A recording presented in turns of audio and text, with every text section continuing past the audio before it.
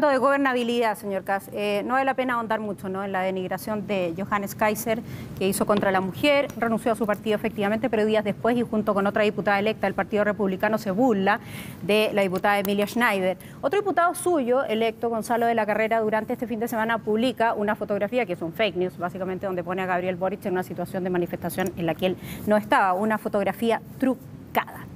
Mi pregunta es, ¿cómo va a conciliar a estos republicanos que yo acabo de describir, que generan cierta resistencia ¿no? en el electorado, con un hombre, por ejemplo, como Mario Desbordes, mucho más de centro y que está haciendo campaña por usted? ¿Cómo se gobierna, cómo se une todo esto? Primero, eh, ejerciendo la autoridad. Y nosotros hemos sido muy claros eh, en condenar totalmente los dichos de Johannes Kaiser. Hemos condenado también eh, la ironía, la broma, la broma de muy mal gusto que realizaron con Gloria Navellán.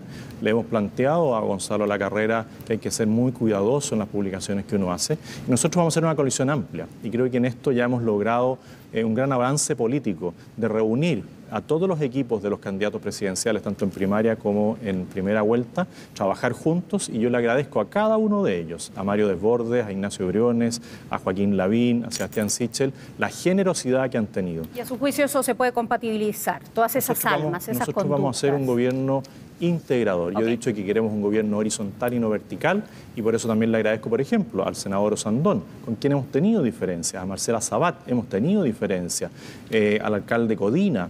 Eh, con todos ellos hemos podido trabajar y tenemos un proyecto común que se llama Chile. Guardemos ese casi minuto.